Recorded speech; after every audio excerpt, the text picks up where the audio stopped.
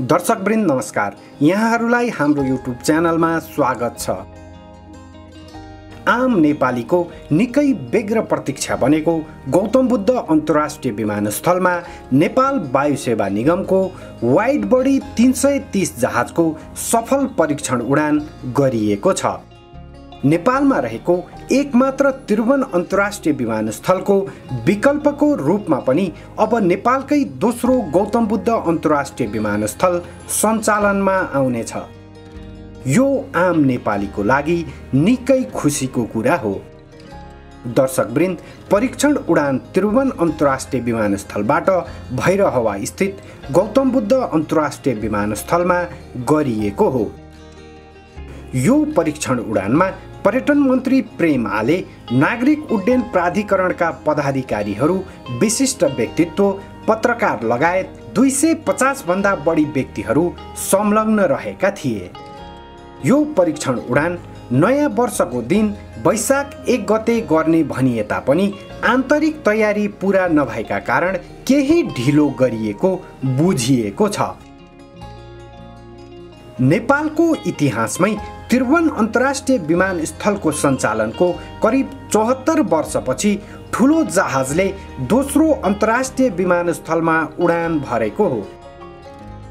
नेपालको दोस्रो अन्तर्राष्ट्रिय विमानस्थल औपचारिक रूपमा सञ्चालनमा आउनु देशकै महत्त्वपूर्ण उपलब्धि भएको बताइएको छ। नेपालमा अर्को अन्तर्राष्ट्रिय विमानस्थल सञ्चालनमा आएको र विश्वभरका एयरलाइन्सहरूले उडान गर्न सक्छन् भन्ने सन्देश प्रवाह गर्न पनि वाइड बडी जहाजबाट परीक्षण उडान गरिएको हो। राष्ट्रिय गौरवको आयोजनाको रूपमा रहेको बहुप्रतिष्ठित गौतम बुद्ध अन्तर्राष्ट्रिय विमानस्थल गत जेठ आठ गतेदेखि विधिवत रूपमा सञ्चालनमा आइसकेको छ। यद्यपि यो विमानस्थलमा आगामी जेठ दुई गते बुद्ध पूर्णिमाको दिनदेखि नियमित अन्तर्राष्ट्रिय उडानहरू सञ्चालन हुनेछन्। जजिरा इयरले उडान अनुमति लिएर आवश्यक तयारी गरिरहेको छ। अन्य एयरलाइन्सहरूले पनि विमानस्थलबाट उडान भर्न चासो देखाइरहेका छन्। गौतम बुद्ध अन्तर्राष्ट्रिय विमानस्थलमा न्यारो बडी र वाइड बडी जहाजहरूले उडान अवतरण गर्न सक्नेछन्। यो विमानस्थलमा यान्त्रिक परीक्षण उडान क्यालिब्रेसन फ्लाइट सम्पन्न भइसकेको छ। त्रिभुवन अन्तर्राष्ट्रिय विमानस्थलकै क्षमतामा गौतम बुद्ध अन्तर्राष्ट्रिय विमानस्थल सञ्चालन हुने प्राधिकरणले जनाएको छ। गौतम बुद्ध विमानस्थल रुग्ण अवस्थामा पुगेर चाँडो प्रगति हासिल गरेको आयोजना हो।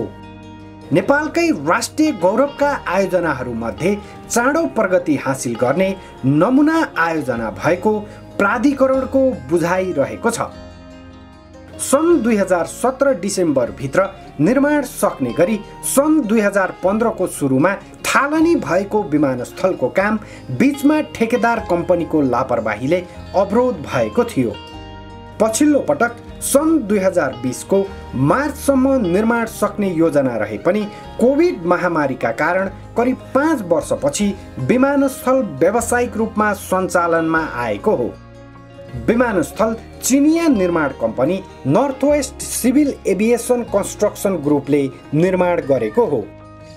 एसियाली विकास बैङ्कको सहुलियतपूर्ण ऋणमा निर्माण भएको यो आयोजनाको पहिलो चरणमा करिब एघार अर्ब खर्च भएको प्राधिकरणले जनाएको छ। पैँतालिस मिटर चौडाइ र तिन हजार मिटर लामो धावन मार्गको यो विमानस्थल व्यावसायिक सञ्चालनमा आउँदा हालको त्रिभुवन अन्तर्राष्ट्रिय विमानस्थलको चाप न्यूनीकरण हुने विश्वास गरिएको छ।